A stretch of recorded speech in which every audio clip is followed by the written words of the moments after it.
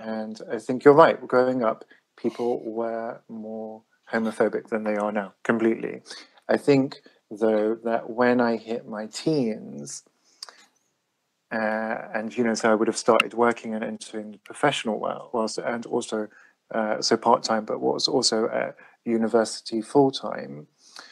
Society had made some traction around homophobia by that point, by my early twenties. Yeah.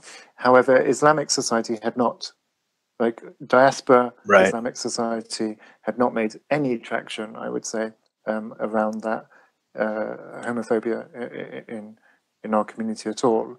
Um, so there was this clear distinction actually as I became older.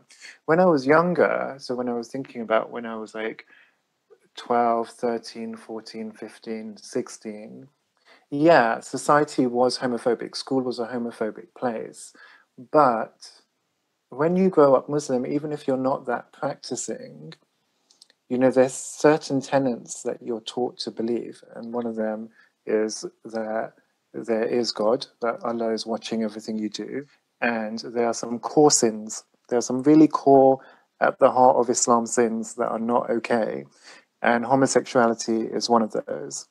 So even if you're not praying five times a day, even if you're fudging your Ramadan, like eating at school, but then going home and pretending that you've been fasting to your parents, like that is more acceptable than being gay because there's just a universal condemnation around homosexuality or that stuff. Secular Jihadists is an increasingly influential podcast with much of its growing audience in Muslim majority countries, advocating for atheists, secularists, and Enlightenment thinkers.